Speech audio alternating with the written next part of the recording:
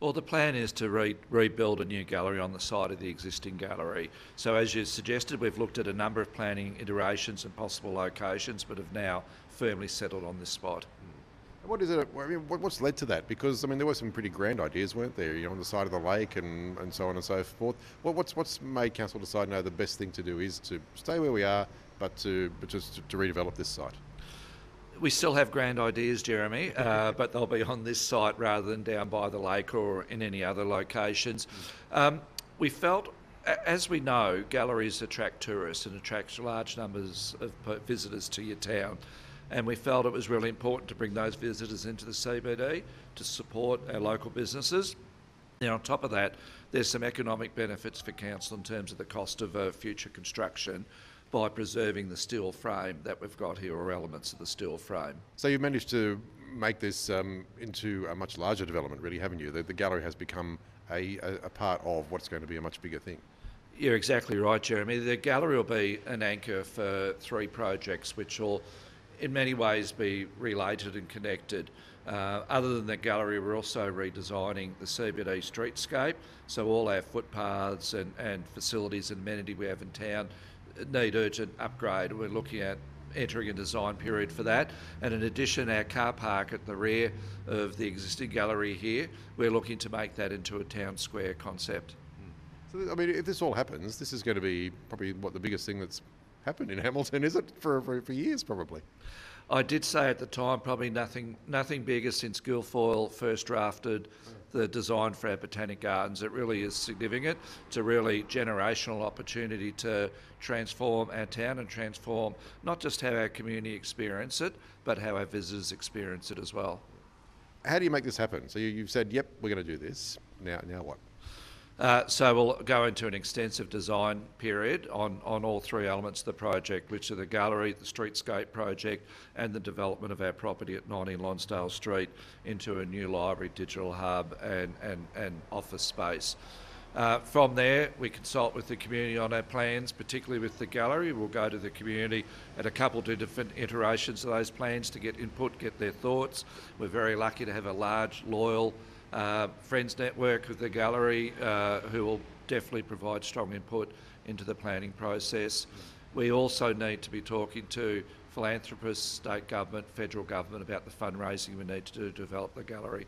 Because none of this is is set in concrete as far as that's concerned, is it? Uh, No, the, the projects have to be funded. Uh, in a rate capping environment, uh, council couldn't fund them, uh, but we've been working hard on building those relationships. They're going to support us, and we're, we've got reason to be confident that we will be able to pull the money together. Joshua, what's the um, thought been like, or the feeling been like at the gallery since this was announced? Has there been a bit of a buzz about, you know, what might happen here?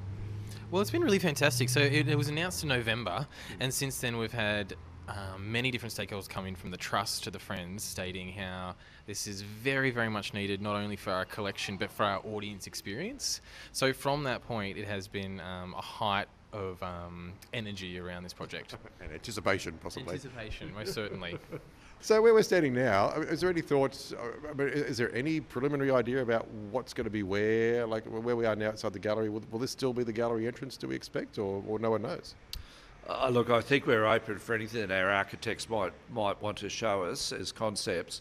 Uh, but fundamentally, we, I would say yes to that question that the entrance would remain on Brown Street.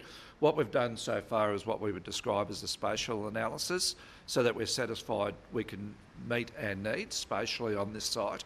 Uh, and then from there, we're really developing a brief to go to architects or will no doubt start the creative process. So you, so you mentioned that there's uh, like a, a shell or a, a structure that you can preserve. Um, how much more of what's here can you retain, and how much, you know, how much, how much will go?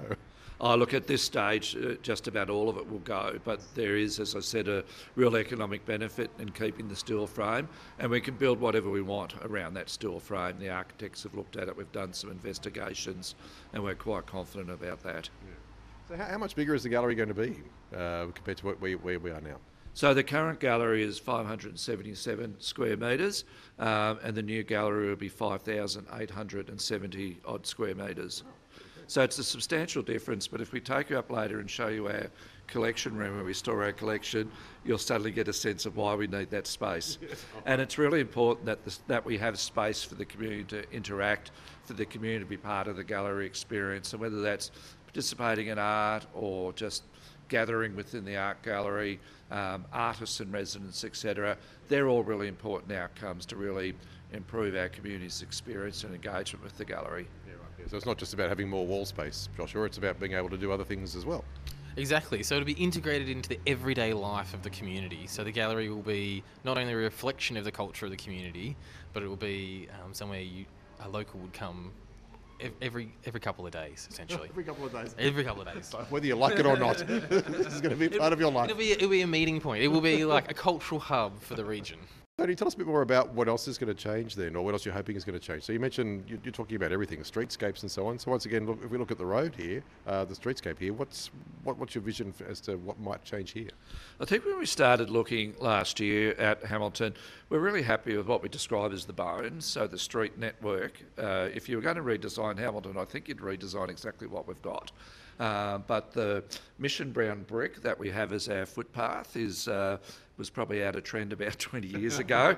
it's a maintenance nightmare, um, but we really want to facilitate people coming to the CBD not just because they have to to shop, but because there's an experience for them. They want to hang out here, they want to be part of the environment. So we want to activate our spaces with outdoor art, which is a connection with the gallery. Uh, and we want really great areas that people could just come, sit, have a coffee, meet other people, talk, sit, read a book.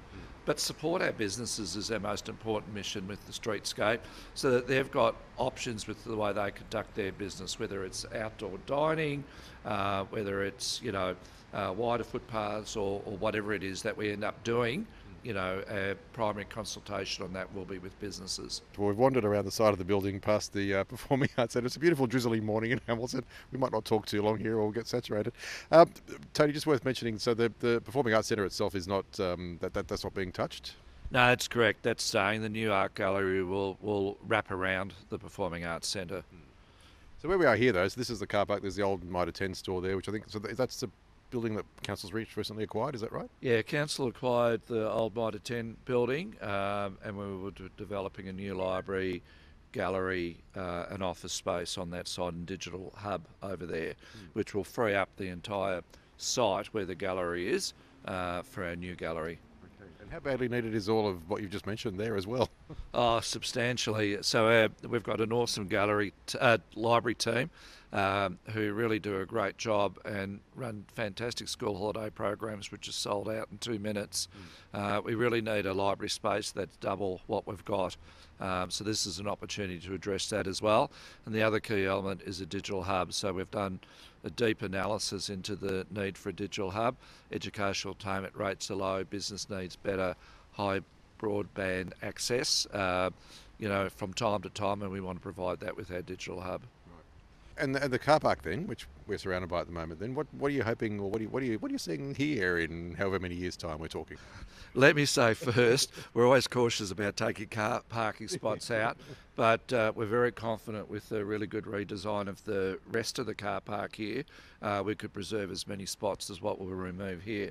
But we see this as a really important space that we can activate through having outdoor performing arts, uh, possibly even a stage on the side of our performing arts building here to run outdoor uh, events for the community. Uh, you know, we're lucky to have a really great choir, uh, orchestra, uh, and a lot of other musical performers in our community. We'd like to give them a platform that they can, during all year really, perform outdoors. The community can gather as they please. We can hold events here, etc.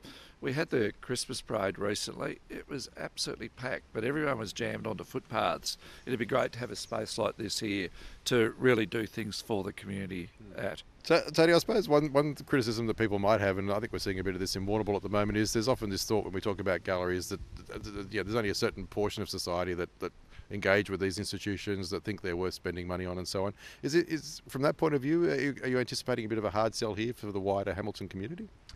Well, I, I think the sell is easier if we're raising the money externally and we're not spending rate rate funding. Uh, but I think importantly, galleries are really representations of your heritage, your history, your landscape. They're they're really who we are as a community, and and we have a very strong belief that they're for everybody in your community, not just a portion of your community. And we think our new gallery will really enable that. We want to be able to run programs that are targeted at engage everybody in the community, not just people who want to come in and look at a McCubbin or, or you know some high-end piece of art. But we want our gallery to inspire people. We want our you know. Uh, our community to bring visitors every time they visit us to the gallery. We want it to be the first port of call. Joshua, I'm sure you agree. You're nodding vigorously there. I am nodding vigorously. Um, and look, over the last 12 months, the gallery has really engaged with families and school groups and children. So I think um, it is for everyone. Art galleries, particularly regional art galleries across Australia, are for everyone to engage with. There we go, Joshua White, director of the Hamilton Art Gallery, and also Tony Doyle, we heard from there, who is the CEO of Southern Grampians Shire, talking about those plans, big plans for, well, not just a new Hamilton Art Gallery, but also a new library, a new cinema, new council offices, a new town square. The streetscape's also going to be changed. It's going to be a massive project for Hamilton if it all goes ahead. And of course, it'll take many years, I'm sure, as well, to achieve all of those things. But, uh, well, looking forward to, uh, to watching it happen.